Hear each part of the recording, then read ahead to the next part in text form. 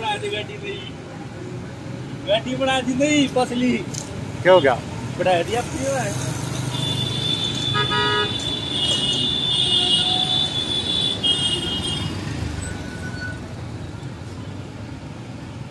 आपको दिखा रहा था किस प्रकार से दो शांड लगातार रोड के बीच में और पूरा ट्रैफ़िक जाम हो गया।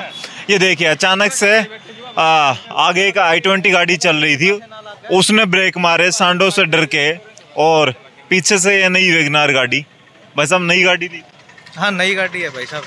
एकदम गाड़ियाँ दोनों नई थी आपकी गाड़ी में ठुकी है। और वो देखा कौन तो नदी तो उसमें भी यार। है हाँ बम्पर चलो उसको भी देखेंगे देखिए हालात देखिए आप। भिवानी में आवारा पशुओं के हालात वैसे। देखिए आप देख सकते हैं। ये देखिए आप। ये देखें।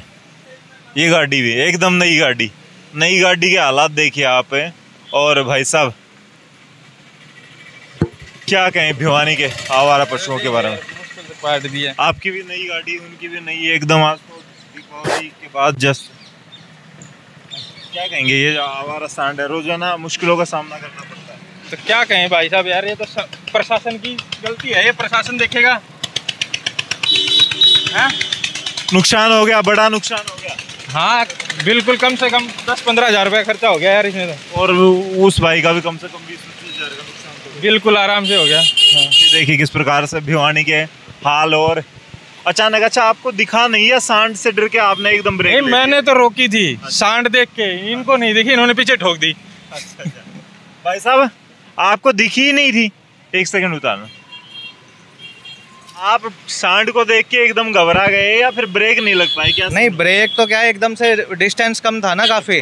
हाँ उसके वजह से हुआ है। अच्छा, ये देखिए तो आप भिवानी के हाल देख सकते हैं हालाँकि आप देखें प्रशासन के लोग भी जो इस वीडियो को देख रहे हैं प्लीज़ आपसे रिक्वेस्ट करता हूँ कि जो लोग गाड़ियों के सहारे अपने गंतव्य स्थल तक जाते हैं तो उनके हाल क्या हो जाते हैं? और भिवानी में आवारा पशुओं का हमेशा से आतंक बना रहता है और लोगों का आप हाल देख सकते हैं। अचानक से डर गए थे जी एकदम? नहीं नहीं सर डरे तो नहीं थे। कि अचानक क्या हो गया? ये एकदम टक्कर लगी ना तो एकदम शौक तो लगता ही है कि एकदम क्या हुआ और कुछ नहीं।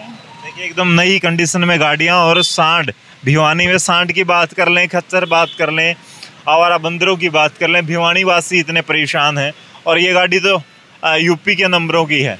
ये गाड़ी बाहर की ही है गाड़ी मेरे हिसाब से। हालाँकि भिवानी से हो सकते हैं और एक हरियाणा की गाड़ी। और देखिए, बाहर जाके क्या मैसेज आता है कि हरियाणा या भिवानी में आप कभी मत जाओ क्योंकि वहाँ पे हालात इतने बुरे हैं। अगर आपको निकलना है तो दूसरे हिस्सों से निकलें। तो प्रशासन को थोड़ा सा सचेत होना होगा और जो हालात हैं, और ये देखिए, ये सांड अभी भी, इसको भी कितनी चोट लग चुकी है। आवारा पशुओं का हाल देख सकते हैं आप, क्या हाल है। और अभी शांत पड़े हैं ये। लगभग 10-15 मिनट ये सीन यहाँ पर चला है। आप इस वीडियो को शेयर करें, कमेंट बॉक्स में अपनी राय ज़रूर दें। इन आवारा पशुओं का सॉल्यूशन क्या हो सकता है? क्या प्रशासन जानबूझ के इनका कोई सॉल्यूशन नहीं निकालना चाहता? नगर परिषद ने इनको पकड़ना स्टार्ट कर दिया था एडीसी महोदय ने आदेश जारी कर दिए थे। उसके बाद भी ये सांड आज भी रोडों पर घूम रहे हैं और आम जनमानस के लिए दिक्कत या परेशानी का कारण बन रहे हैं। आप देख भी सकते हैं, लाखों रुपए की बड़ी गाड़ियाँ और यहाँ पर आज मात्र दो मिनट के खेल के चक्कर में टूट चुकी। हज़ारों रुपए का बड़ा नुकसान हो चुका है। आप इस वीडियो को शेयर करें, कमेंट बॉक्स में अपनी राय ज़रूर दें।